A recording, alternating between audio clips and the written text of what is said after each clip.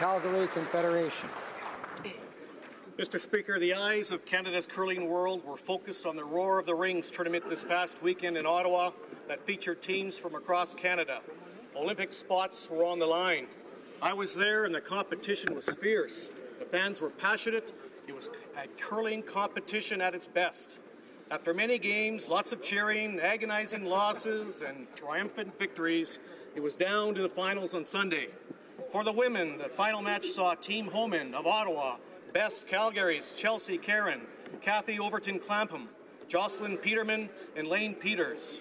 On the men's side, Manitoba's Team McEwen was bested by Calgary's finest. A hearty congratulations to Calgary's skip Kevin Koe and his team of Marc Kennedy, Brent Laing, and Ben Hebert, or Hebert. You're off to the Olympics. Calgary and the rest of Canada will be cheering for you every step of the way. Yep.